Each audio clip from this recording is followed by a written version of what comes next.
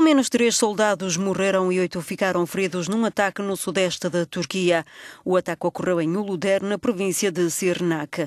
Segundo a versão oficial, a coluna militar foi visada por uma bomba acionada à distância por membros do Partido dos Trabalhadores do Kurdistão. Os ataques às forças militares turcas têm-se multiplicado no último ano no sudeste da Turquia, desde que o PKK pôs fim a dois anos e meio de cessar-fogo. O exército prossegue as operações contra os rebeldes.